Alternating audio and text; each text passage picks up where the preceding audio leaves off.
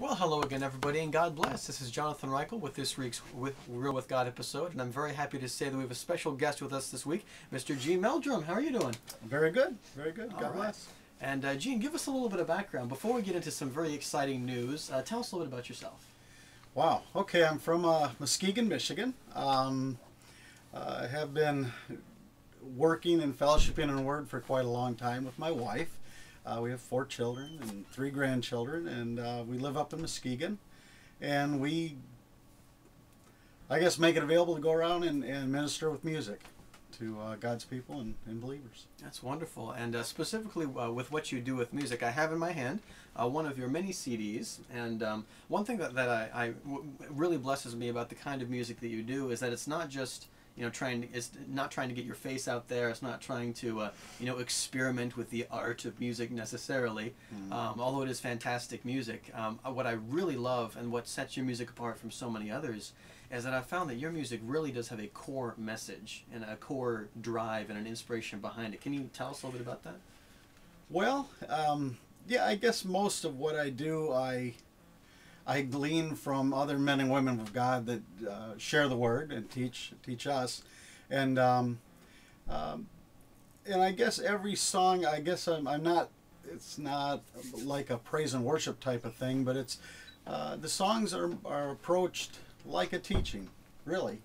Um, you know, they have usually an idea, and um, and I try to, you know, you can't always teach everything, especially within the, the confines of a song, but uh, I try to teach principle. Um, you know, most of what I do, I think, is encouraging and um, hopefully empowering God's people to live the Word, um, to walk the Word, and to just love people and to do what God wants us to do, each and every one of us.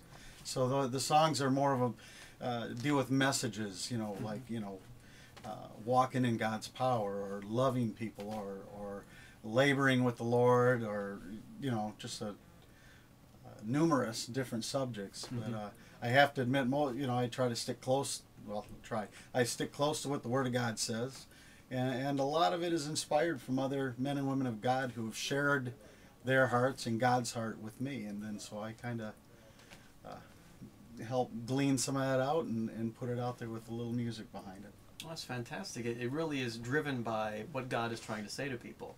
And then you, you find beautiful melodies and, and put that to it. I'm curious, um, uh, looking at your history of music, what really got you into music? What inspired you to pick up a, Oh boy! an instrument and go for it? Well, without making a long story, uh, it, my brothers and sisters and I, when we were young, we sang together, uh, and we were on the senior citizen track. Um, you know, my grandparents they let us sing at their uh, their meetings, senior citizen meetings, and uh, we sang for our supper, which uh, obviously we were very good at.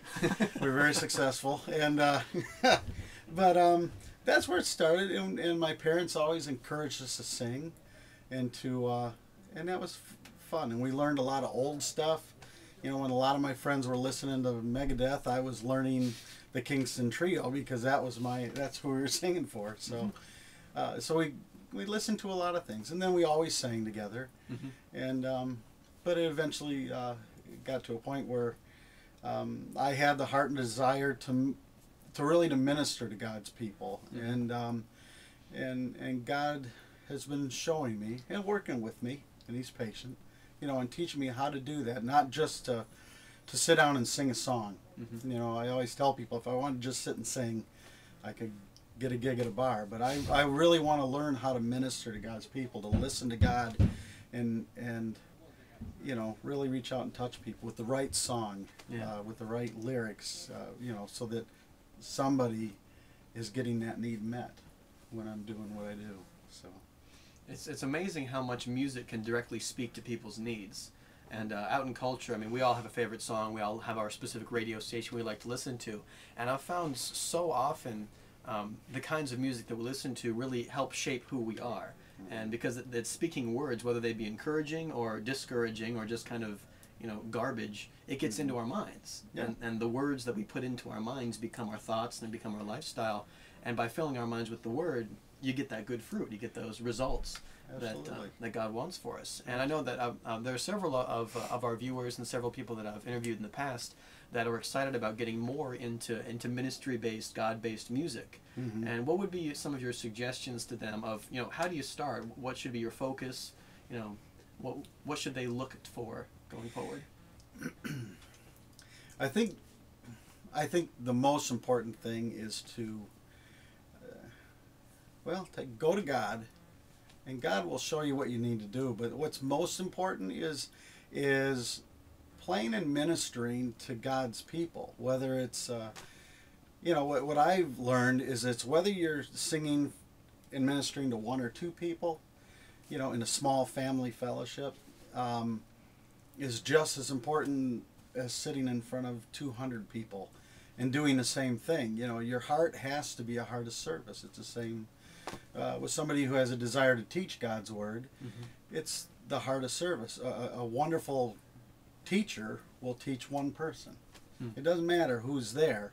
It's knowing that God put you there, so you got whatever chance to bless that person's life and to teach them something. And yeah, and the neat thing about music is if you uh, if you have a melody that's contagious enough and it's loaded with the Word of God, um, you know that that might just spin around in somebody's head, maybe more than they even want. But you know, but at least it's spin around in their head, and uh, you know, and and it's God's Word, and it, it and uh, it gives them something to lean on when they're you know maybe when they're uh, being challenged with with a, a situation maybe that song will be the thing that jumps into their head and they think Yeah. well you know i'm not ordinary or or whatever you know that song might be uh, and that's the uniqueness of music is it gives you the opportunity you're dealing with more than just words you're dealing with uh, uh, melodies and, Mhm. and the, the opportunity to touch people at a lot of different Yeah. levels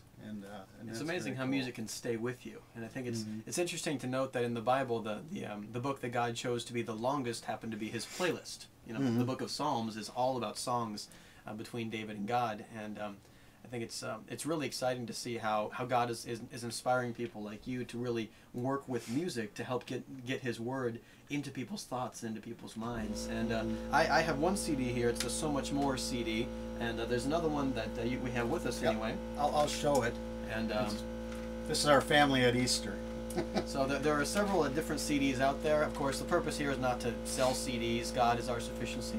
The purpose is uh, it's fantastic music. And if, if you guys are interested in listening to some of this stuff, do you have a website or some way that people Yep. can get in touch with you? is genemeldrum.com All right. So And, uh, be sure to check there. out be sure to check out genemeldrum.com. I'd imagine your discs are available online and, and Mhm. things to listen to. Sure. Um, so thank you so much for Oh, joining well, us for thank this you week. for and taking uh, some time definitely do take a look at that website. God bless you. This is Jonathan Reichel and Gino? for today. God bless you guys. Bye bye.